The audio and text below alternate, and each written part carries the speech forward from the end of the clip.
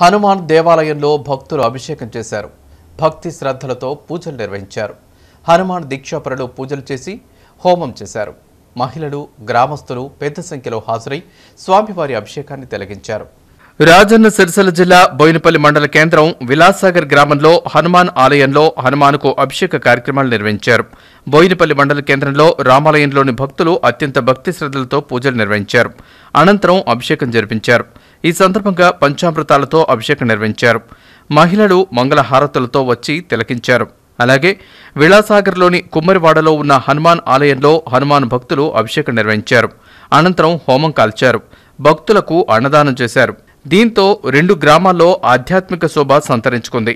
హనుమాన్ వేషధారణలు పలువురిని ఆకట్టుకున్నాయి.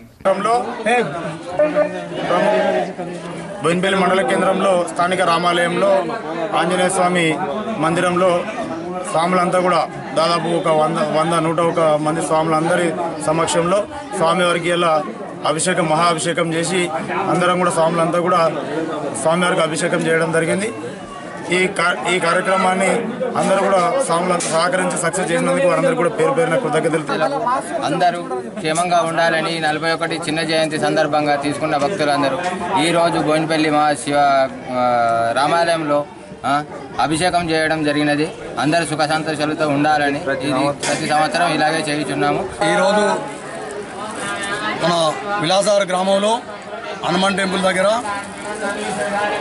విలాసార గ్రామంలో ఒక వంద వంద పైన సాములు ఇంటింటికి మాలలేసుకొని మరి ఉత్సాహంగా దేవుని కృపకులయ్యి ఈరోజు అన్నదాన కార్యక్రమం అభిషేకం మరి నెయ్యాభిషేకం చేసుకుంటూ గత ఇరవై ఇరవై ఐదేళ్ళ నుండి మేము విలాసార గ్రామంలో మాలేసుకొని ఈ టెంపుల్ దగ్గర మరి ప్రతి సంవత్సరం అన్నదాన కార్యక్రమం చేసుకుంటూ విలాసార గ్రామ సభలు మరి సాముల ఆధ్వర్యంలో అదేవిధంగా అందరి సహకారంతో మరి ఈ దేవుణ్ణి ఇంతింత గొప్పగా ఆదరించినటువంటి మా గ్రామ ప్రజలకు మరి మాలేసుకున్న మాలధారణ వేసుకున్నటువంటి మా ఆంజనేయ భక్త సాములకు మరి పేరు పేరున కృతజ్ఞతలు తెలుపుకుంటూ